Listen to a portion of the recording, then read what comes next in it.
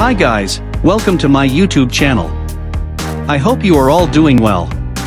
In this third part of the video series, I will show you how to do texture of this pirate sword 3D model in Substance Painter. If you haven't seen the previous parts of this video series, I will recommend you to watch that video, where I have shown how to do 3D modeling and UV texturing of this model in Autodesk Maya. You will find the links of the videos in the description below, so without wasting any more time, let's get started.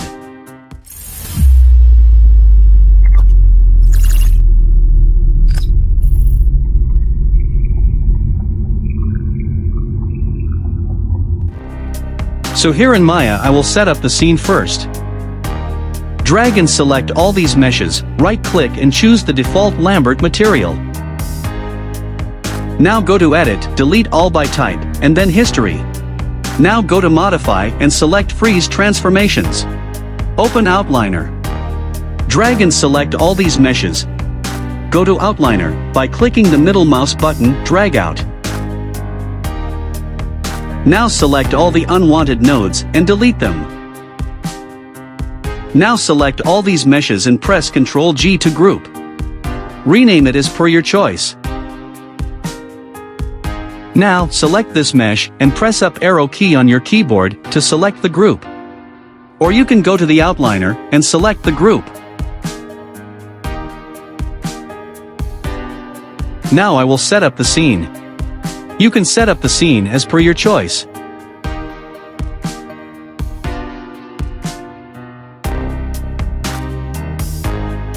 After setting up the scene, I will apply different materials to the different objects and rename them properly so that it will help me identify the objects in Substance Painter by their individual names.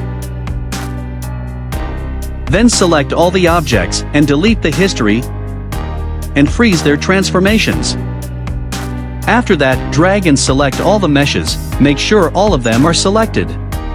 Go to File, then Export Selection. Choose your destination where you want to export, Change the export format into FBX. Rename it. And then click on Export Selection. Now, let's jump into Substance Painter for texturing. So here we are in Substance Painter. Now let's import the objects here. So go to File, and click on New. Set the template to PBR Metallic Roughness, click on Mesh, and select the FBX file which you have exported from Maya. Set the document resolution to 2048, you can adjust it later also, then click on OK. Now click on Bake Textures. Here, I will uncheck the ID map, and set the output size to 2048, and I will keep everything else as default. Then click on Bake All Texture Sets. It will take some time to bake all the texture sets, in the meantime, subscribe to my channel, hit the like button, and share it with your friends too. Now then, it is ready for texture. You can find different objects in different layers in the texture set list. This is because I applied different materials to different objects in Maya. Select this layer and turn off the visibility of other layers. In this Layers section, you can add different textures and customize them layer-wise. Delete this layer 1 for now. Now from here, click on Materials. Here you will find different materials.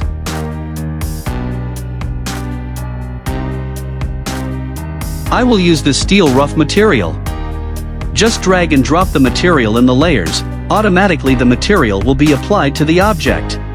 Hold shift, right click, then drag the mouse, to change the direction of light.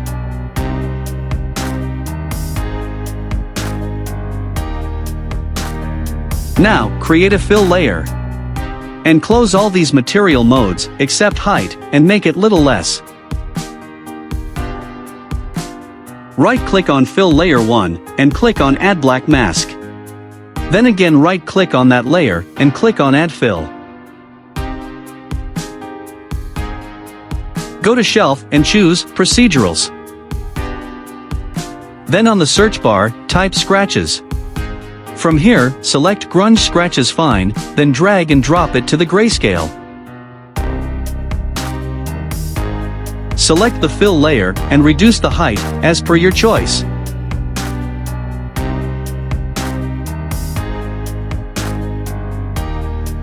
Then play with the settings to see what looks best for you.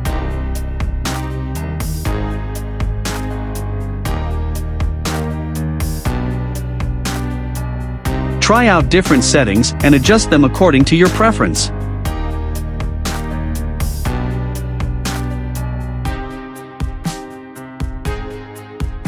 Now then, create a fill layer and close the normal, metal and height modes.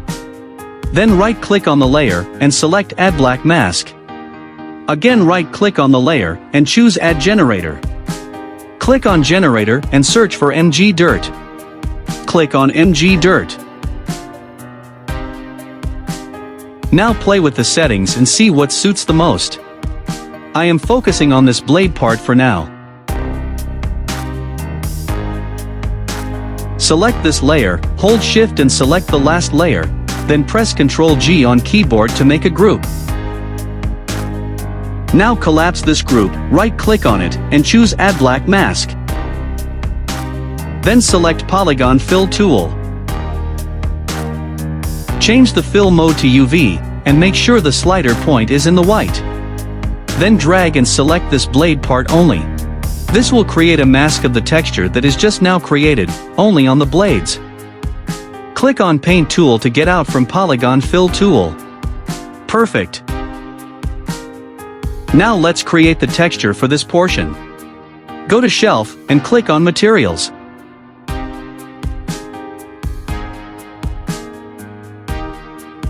From here, I will choose Steel Rust and Wear.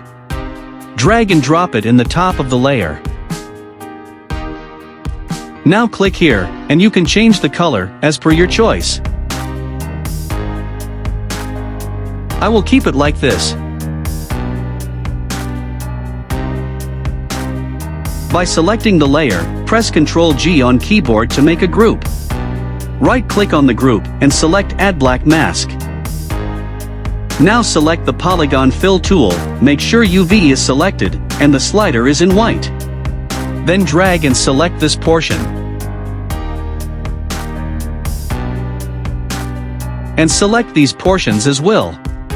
My computer graphics is not so powerful, that is why this kind of color problems are occurring.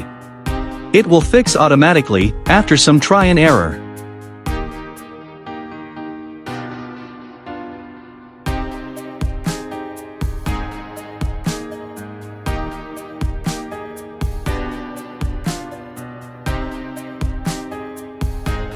Now select this plastic grid bumpy, then drag and drop it in the top of the layer.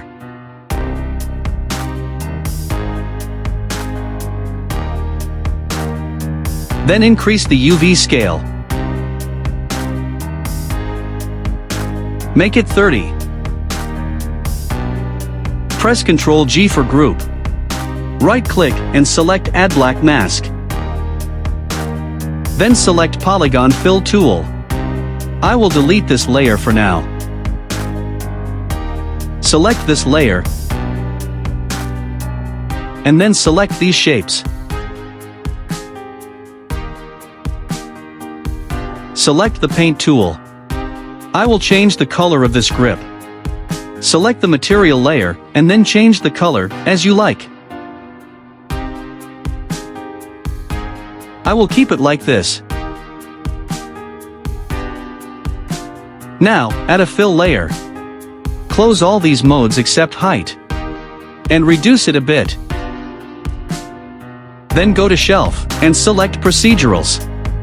Here I will choose something like Scratch Effects. I will choose this one, then drag and drop, but first I need to create a mask to that layer. Leave this one here. Right-click on the layer and choose Add Black Mask. Again right-click on the layer and choose Add Fill. Now select this scratch effect, then drag and drop it into grayscale.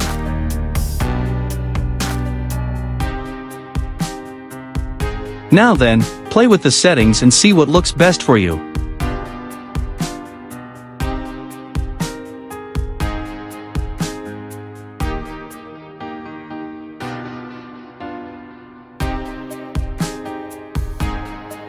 Add another fill layer. Close all these tabs, except height. And reduce it a bit. Now, right-click on the layer and choose Add Black Mask. Again right-click on the layer and choose Add Fill. Now, select this Scratches 3, then drag and drop it into Grayscale. Then, adjust the settings as per your choice. Play with the settings and see what looks best for you.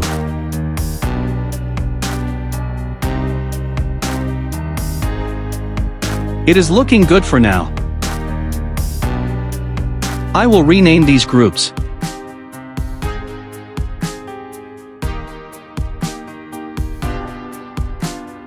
Now, go to Shelf and select Smart Materials. Select this material, drag and drop it in the top of the layer.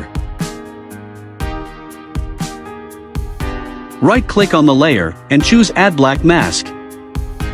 Then select Polygon Fill tool. Change the fill mode to UV, then drag and select these parts.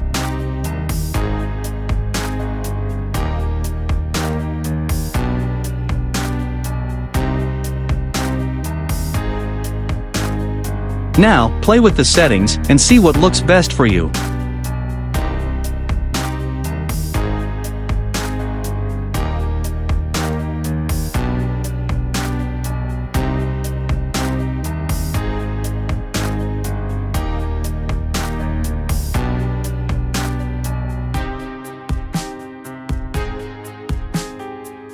Here, I will select materials from shelf. Select this gold pure material, then drag and drop it here. Now, I will adjust some of the settings here.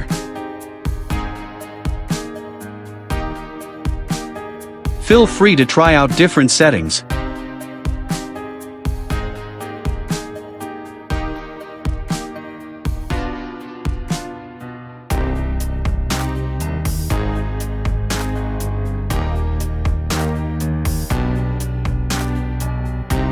After that, select these layers by holding Shift, then press Ctrl C to copy the layers. Then turn on the visibility of Sword 2 from Texture Set list, then select that layer. Delete this layer 1, then press Ctrl V to paste the layers of the Sword 1. The textures from Sword 1 are copied to the Sword 2. But the masking needs to be identified manually. As you can see the black mask is already there, just I need to select the Polygon Fill tool and select the UVs to apply the same textures. So select the Polygon Fill tool, make sure UV is selected. Then select the parts according to their texture layers.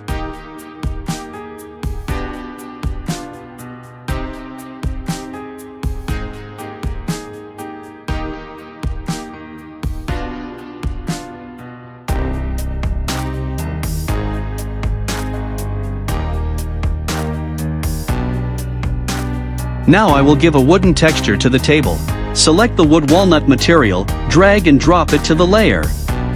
I will make the UV rotation to 90. And I will increase the roughness to 0.8.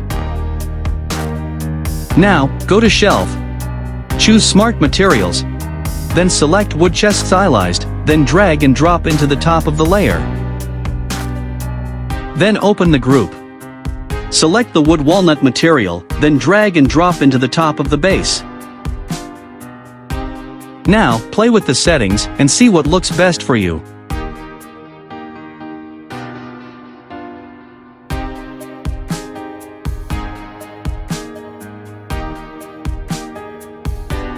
Now, set the camera in a suitable position, and let's see in the render view, how it is looking.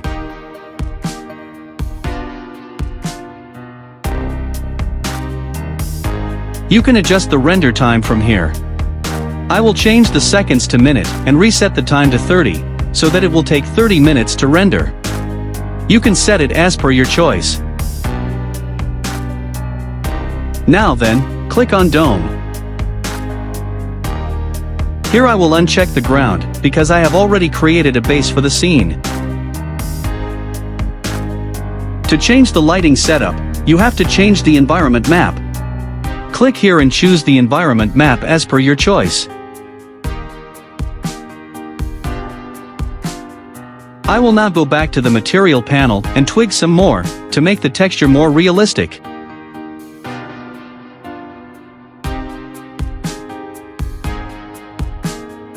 Open this grip layer. Create fill layer.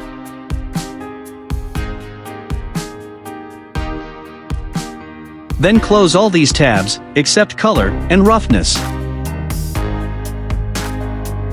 I will change the color to something like dirt. Something like this will be fine. Then increase the roughness quite a bit. Then right-click on the layer, and choose Add Black Mask. Then again right-click on the layer, and select Add Fill. Go to Shelf, and choose Smart Masks. Then select Dirt Complex, then drag and drop it to grayscale. But it seems it is not working. As it is a smart mask, I have to apply directly to the black mask. So select this fill and delete it. Then select the dirt complex, drag and drop it to the layer.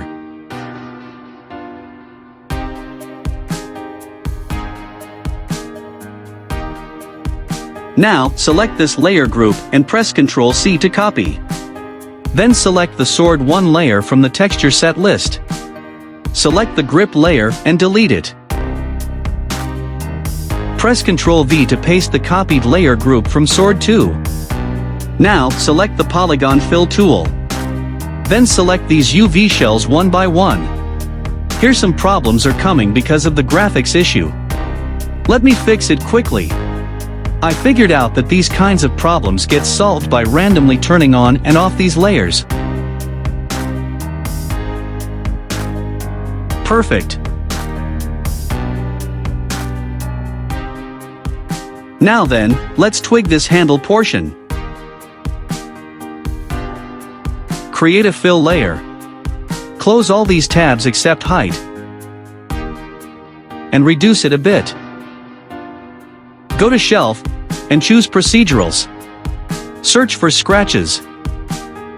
But first right-click on the layer and select Add Black Mask. Again right-click, and then select Add Fill. Now, select this scratch effect, drag and drop it to the grayscale. It is looking good. Now do the same for the sword too.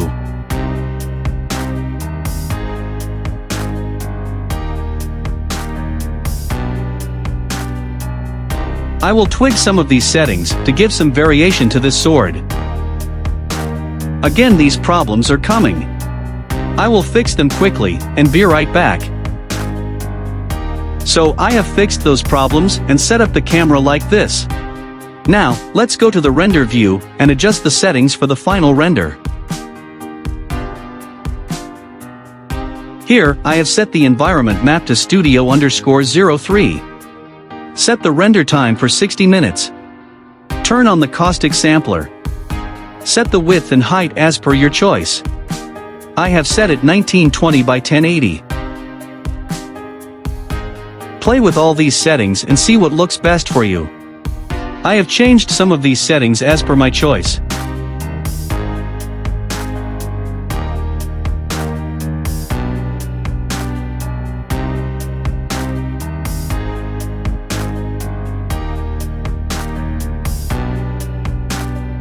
Then after setting up all these adjustments, it will take the render time as per you have set it. So guys, I hope you like this tutorial. Subscribe to my channel and press the bell icon to get the notifications first whenever there is any new video in my channel. Feel free to ask me anything regarding this video in the comment section. Stay safe, and I will see you on the next video.